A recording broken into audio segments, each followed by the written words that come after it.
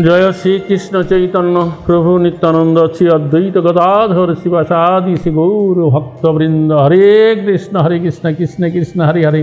হরে রাম হরে রাম রাম রাম, হরে হরে। তো সমাবেত সমস্থিত শ্রী শ্রী হরে কৃষ্ণ নামহট্ট সঙ্গের ভক্তবৃন্দ।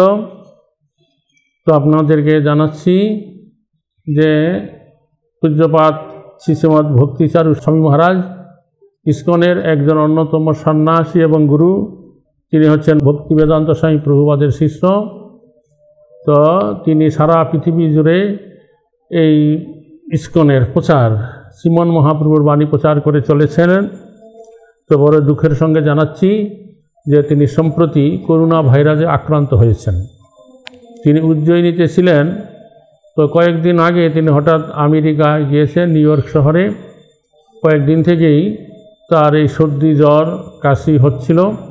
তো কালকে খবর এসেছে, উনি করোনা ভাইরাসে আক্রান্ত হচ্ছেন।